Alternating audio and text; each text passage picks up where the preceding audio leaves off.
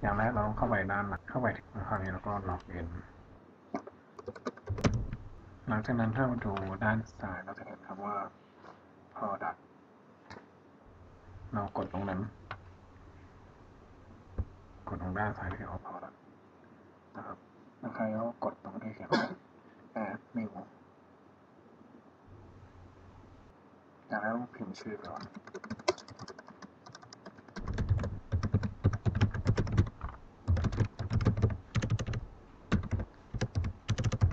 คราวนี้เราพิมพ์คำอธิบาย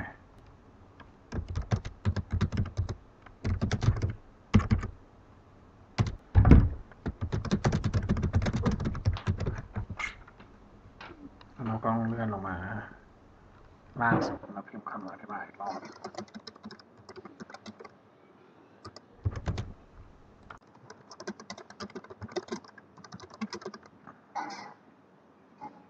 คราวนี้ต้องมีวางนี้ product เป็นหน้า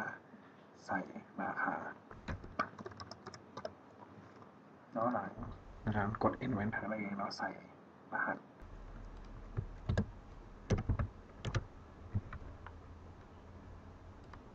แล้วเราก็ต้องเลือกว่ามันคืออะไร อันนี้มันคือ vegetable แล้วก็เลือกรูปกดอัพ โหลดอันไหน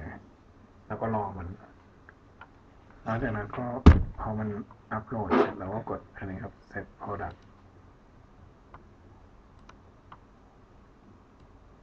หลังจากนั้นทุกอย่างเสร็จเรียบร้อย ก็กด publish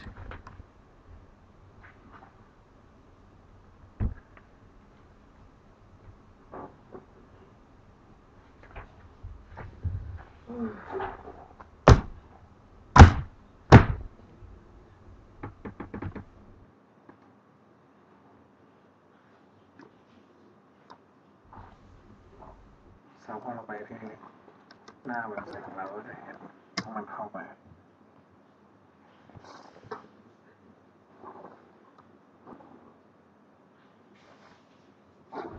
เลื่อนลงมาตรง